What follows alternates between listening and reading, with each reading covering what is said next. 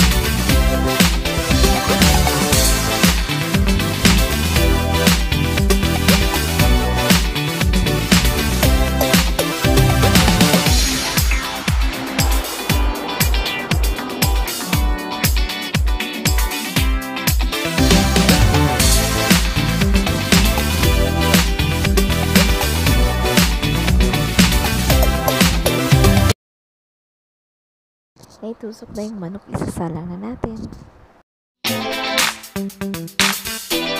Thank you.